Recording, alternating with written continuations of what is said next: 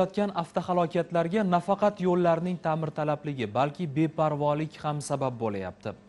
Qashqadaryo viloyatida Labo yukxonasiga ayollarni ortib olib ketayotgan haydovchi chap tarafga yo'l chetiga to'xtayotib, ortdan kelayotgan Isuzu'ni ko'rmay qolgani oqibatida Labo ortida bo'lgan ikki ayol vafot etgani, 5 kishi jabrlangani aytilgan.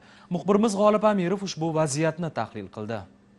Joriy yilning 12 noyabr sanasi soat 09:30lar atrofi Qashqadaryo viloyati Ko'kdala tumani Toshli mahalla fuqarolar yig'ini hududidan o'tgan. Avtomobil yo'lining 46-kilometrida 1986-yilda tug'ilgan haydovchi Labo rusumli avtomobilining yukxonasida odam tashish qoidalarini buzgan holda yo'lovchilarni mindirib harakatlanayotgan vaqtida ortidan harakatlanib kelayotgan haydovchi Isuzu rusumli avtomobilda yo'l chetiga harakatlanayotgan Laboning aynan odamlar minib olgan qismiga qattiq zarb bilan to'qnashgan va va ikkala yuk mashinalari yo'l chetiga ag'darilgan. Oqibatda Labo avtomobilining yukxonasida bo'lgan ikki nafar yo'lovchilar og'ir tan jarohatlari olib voqea joyida vafot etgan. Shuningdek, 5 nafar yo'lovchilar turli darajadagi tan jarohatlari bilan shifoxonaga yotqizilgan. Bizga 14 ta bemor murojaat qildi.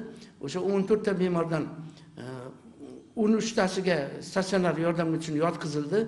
Operativ va tezkor yordam ko'rsatildi standart asosida. E, hozirgi kunga kelib bemorlardan ikkitasi statsionarda davolashni davom ettiryapti.